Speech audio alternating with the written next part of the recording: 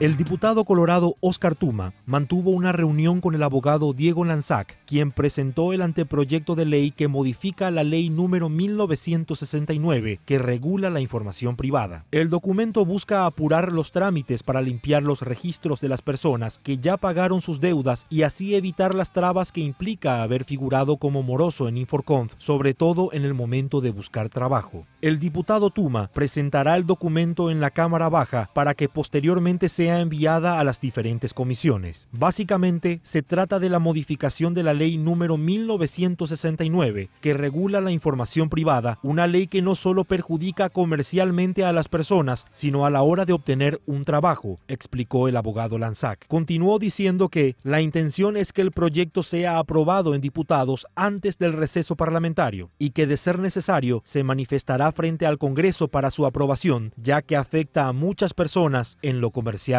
y laboral.